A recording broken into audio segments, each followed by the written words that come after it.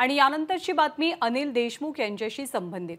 मनी laundering प्रकरणात अटक करण्यात आलेले राज्याचे माजी गृहमंत्री अनिल देशमुख यांच्या जामिनाला ईडीनं पुन्हा एकदा विरोध केला देशमुख हेच या कटामागचे मास्टर माइंड आहेत असं ईडीनं हायकोर्टात सादर केलेल्या प्रतिज्ञापत्रात म्हटलंय.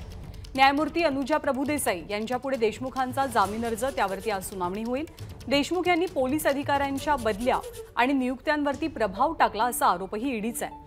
आपल्या पदाचा दुरुपयोग करून अनिल देशमुख यांनी मोठ्या प्रमाणात पैशांचा अपहार केल्याचा दावा ईडीकडनं कोर्टात करण्यात आला. आपले प्रतिनिधी अभिषेक मुठाळ आपल्यासोबत आहेत. अभिषेक काल ईडीनं कोणकोणते दावे कोर्टामध्ये केले? कशी अडचण आता वाढते अनिल देशमुखांची? ज्ञानदा देशमुखच हे मास्टर माइंड आहे असं ईडीकडनं आपल्या प्रतिज्ञापत्रामध्ये स्पष्ट करण्यात आलेलं आहे.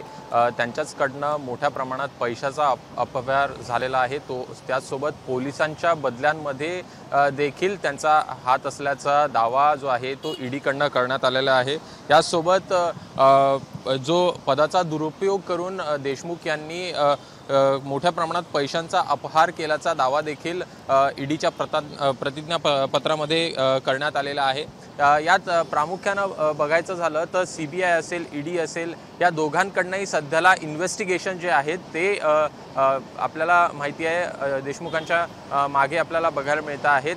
यात ई डीकडनं सर्वात आधी तपास जो आहे तो सुरू करण्यात आलेला होता. पी एम एल ए अंतर्गत त्यांच्यावर जो ठपका आहे तो ठेवण्यात आला. ई आणि त्यानंतर या संदर्भात वेळोवेळी ईडीकडनं त्यांच्या जामिनाला जो आहे तो विरोध करण्यात आलेला आहे. आज देखील याच्यावर सुन सुनावणी जी आहे ती अपेक्षित आहे आणि यामध्ये त्यांच्याकडनं निर्णय जो आहे तो येऊ शकतो. यात निर्णय काय येतो य- यामध्ये न्यायालय काय भूमिका घेतं हे बघणं महत्त्वाचं असणार आहे. यात प्रामुख्यानं जे वय आहे देशमुखांचं ते देखील अधिक आहे आणि यामध्ये त्यांना दिलासा देण्यात यावा असा सांगण्यात येत होतं. मात्र ईडीकडनं याला देखील विरोध करण्यात आलेला आहे. ईडीचं असं म्हणणं आहे की या याहून अधिक वयाचे देखील काही आरोपी आहेत जे अजून पण आपल्याला कारागृहात बघायला मिळतात. अशात देशमुखांकडनं असा दावा करण्यात येणं हे देखील चुकीचं असल्याचं देखील त्यांच्याकडनं स्पष्ट करण्यात आलेलं आहे.